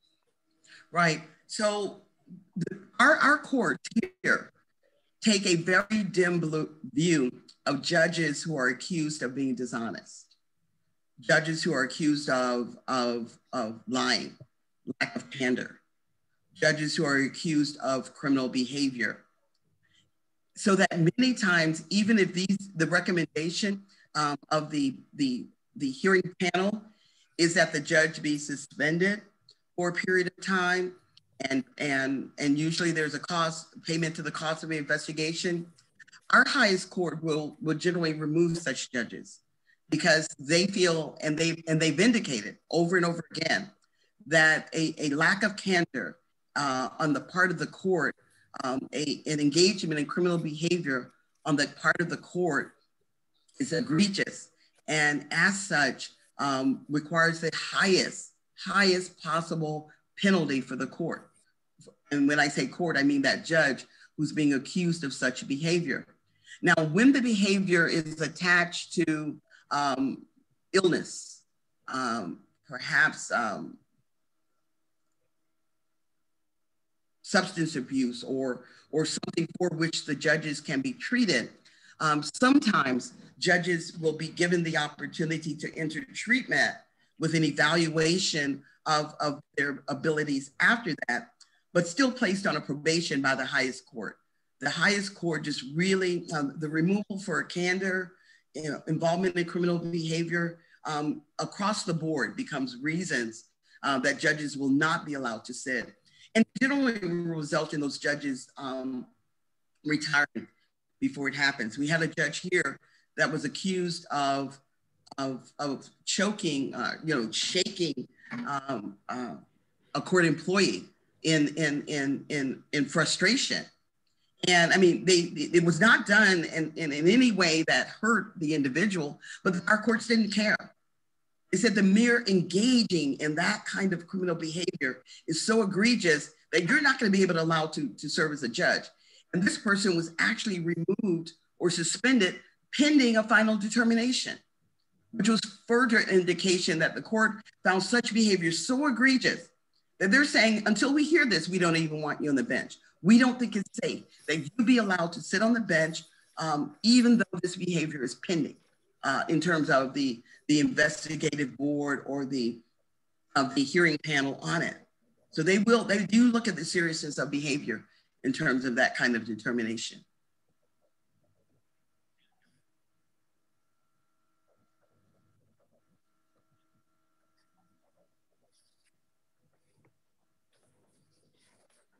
Дякую. Ще пару запитань і будемо завершувати. Uh, a couple more questions and we'll All right. conclude. What most often are the grounds to discipline a judge in the United States? Excellent question. The most common grounds for judges is their demeanor. Improper demeanor, either with another, a lawyer with people that appear in front of them. So in, in yeah, so issues of, of speech and conduct that indicate a lack of proper demeanor is the most common. And, and that will most times not lead to that removal of that judge, but will, will lead to discipline of that particular judge.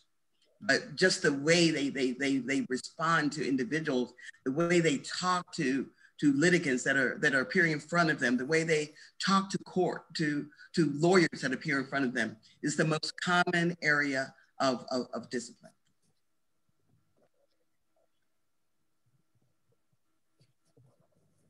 Е, Дякую.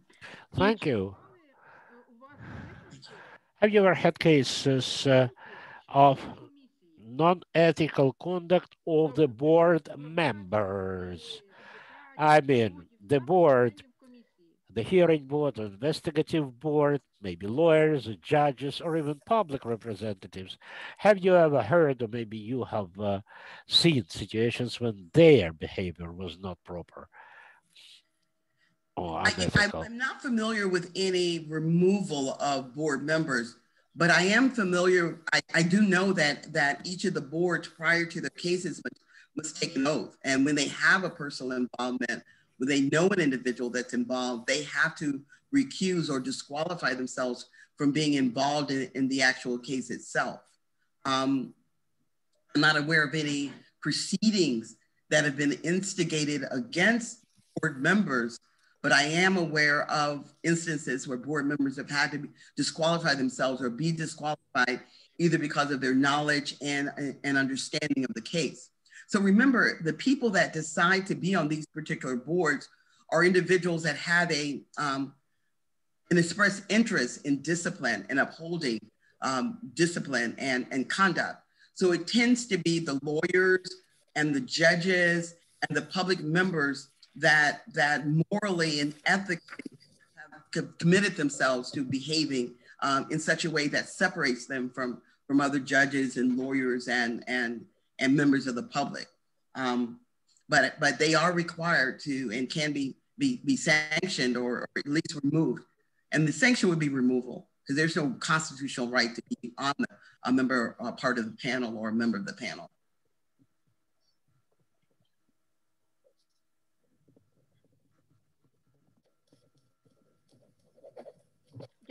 Thank you. Thank you very much. Yes, uh, I have another question. I have two questions, in fact. The first one, uh, esteemed Judge Kotey, who in the United States may file a complaint against the judge concerning disciplinary uh, misdemeanor or uh, improper behavior. Who can file such a complaint? Anyone. So remember in in in in in the presentation we talked about the complaint can from come from a member of the public. It can come from other judges who observe the behavior. It can come from the press who publicizes the behavior and that that that press coverage becomes the basis. And and more commonly, um, it comes from the judge. Sometimes judges mistakenly involve uh, themselves in behavior that they find may subject them to discipline. They want to know, and they didn't mean to do it, um, so they report themselves. We actually had a a very huge case um, recently that involved uh, several judges signing a um, um, signing a, a, a letter of support for an agency that was seeking to um, represent children in, in, in cases. And the, the agency that was seeking to represent um, the children was filing a proposal. And they asked the judges to do a letter of support of their proposals. And they had been, been involved in working with kids and appearing before the court, and they simply wanted the judge to write in support of their application in the proposal. And unknowingly, five judges signed on, and five judges wrote a letter supporting uh, this particular agency that had been doing this for years. So the, the knowledge and the support of the agency was clear, but it was an application for a proposal. So there are possibly other individuals that are submitting proposals as well. So it then becomes a violation for judges to improperly use the weight and prestige of, of the judiciary to support individuals that may appear in front of them. Each of those judges end up self-reporting. They were mortified. They had no idea. One of the judges had been a judge over 35 years without a single complaint. And once they realized their error, because this, this, pro- this was a new process, this proposal, they were getting, you know, starting with a new program. Each of them self-reported um, and and were were mortified that they were involved in such that they had committed it. Once it was explained to them, they understood that this is indeed a violation, um, and they were indeed sanctioned. I mean, now they were not removed; none of them were removed for it, uh, but there were public acknowledgments of what, what had happened. It was covered by the press. Uh, the press also covered how well known and well thought of these judges were. And each of the judges talked about how they had no knowledge. And once it was explained to them, they realized this is, yes, I see now that we are lending our support to this organization um, against others who are possibly trying to, to get the same um, um, appointment. And, and they self-reported. Е, Дякую, пані суддя, за такий яскравий Thank you, uh, Judge. That's a very bright example where the judge self-reports uh, if she or he believes that uh, he has done or she has done something wrong. My second question is, did I understand you correctly that uh, this uh, um, board uh, on compliance is formed by three entities, the governor, who offers uh, a representative from a public bar association and the council of judges who select a judge for such a board. Uh, how do they reconcile, how these three entities can reach agreement about the actual fact of disciplinary uh, misconduct. They may have different views uh, on a lawyer or a public can see it differently from a judge. That's my question. So one of the ways that that we handle that issue, um, and that's a great question. One of the ways we examine that issue is the the board itself has its own counsel. It has its own lawyer that is familiar with the laws and rules as it relates. Um, and, and, and it is their job to instruct the board um, in terms of what is the rule, what is the law. Um, and so board counsel many times mm-hmm. has the responsibility of instructing and guiding, but they don't control the board um, in, in terms of how they, of decisions that are made on a, on a particular case. So um, there is a, a charge that's given or responsibility that's given to the board for all of the members, whether public, judicial, or, or lawyers. Um, and, and then they work under, they work with the board counsel in terms of understanding what the laws or rules say uh, in support of a particular, uh, of, of a particular um, case or entity. But ultimately, it is only three that are on that investigative panel and the three will have to hash it out in terms of reaching some sort of agreement.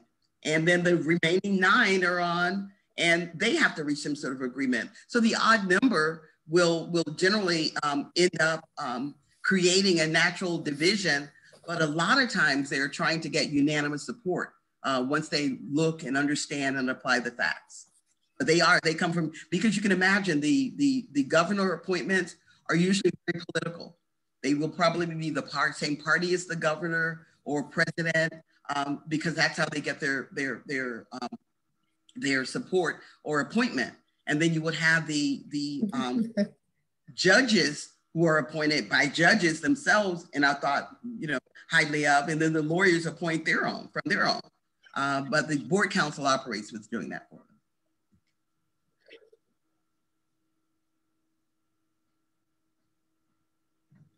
А скажіть, будь ласка, а чи ви чи були Another question. Uh, are these uh, board members allowed, or any one of them, allowed to have a dissenting opinion? Yes. Uh, if uh, Мгм. Дякую. thank Я- you very much. I'm very satisfied with your answers. Thank you very much. Thank you very much, and thank you for this opportunity May, to present before you today. Mm-hmm. Uh, okay, so then as I, as a moderator, um, I would like to say some concluding remarks. As, uh, Tim, to Your Honor, Judge uh, Kotey, I think uh, all participants of this webinar will support me. So on behalf of the participants, I'd like to thank you for a very informative, highly professional presentation because you've given us very comprehensive picture of important and problematic issues concerning the disciplinary liability institution in your country. It's been very interesting for us because our mechanism for holding a judge liable is quite different from what you have. And uh, what we really liked uh, is that you illustrated all that with very good examples. And being a lecturer of university myself, uh, I teach uh, students of law. I know that it's very important to quote the very reputable authors. In particular, you mentioned uh, the Justice Stewart. Uh, here you mentioned his understanding of um, judicial ethics. We are very thankful to you for this lecture. And uh, now we are on the eve of Christmas. Uh, so let me wish you all the best, uh, strong health, uh, professional longevity, and all the best uh, to uh, uh, our life. And more importantly, may we have peace and win this coronavirus. Absolutely. Thank you all very much from the National Judicial College. It's been a pleasure working with you all, and uh, we look forward to more partnerships in the future. Okay, I also would like to step Absolutely. Thank you again for this opportunity. Thank you very much, uh, Your Honor, for your time uh, preparing and devoting and committing to teach uh, for Ukrainian judges. Happy uh, Merry Christmas to you and your family and Brooke. We joining you as well in this congratulation and appreciation for your absolutely generous support. Thank you very much, uh, my colleagues who invested a lot of their time in preparing all nine, uh, nine webinars and they have been working in tight cooperation with National Judicial College. Thank you, college, and all the best. All the best, and uh, I hope we'll see each other again on webinar in next year. Happy New Year as well.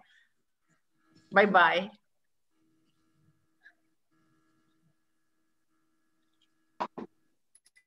Е, Пані Наталя, я хочу звернутися до пані Семпл. Yes, Natalia, I'd like to talk to the Mrs. Sample, if I might.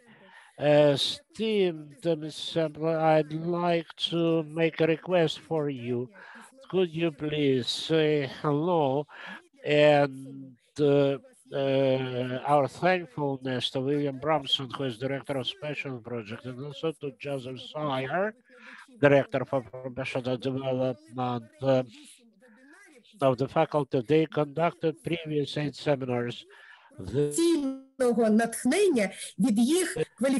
Impressed uh, and they really gave us uh, inspiration and uh, with their uh, will to share their knowledge with Ukrainian judges. Now our school receives a lot of thanks for these webinars organized jointly with the American Judicial College. Our best wishes uh, and uh, our best wishes for Christmas. We are absolutely confident that uh, this professional uh, relations and friendship will continue, and we do hope that our USAID project will uh, foster deepening of our professional relations and we'll have many other interesting meetings, interesting webinars, and I wish we soon have time when the National School of Judges can share with your college uh, our professional developments uh, along the path of uh, uh, professional development of judges. Uh, Ladies and gentlemen, thank you very much. Uh, we wish you all the best, uh, good holidays. Uh, all the best to you.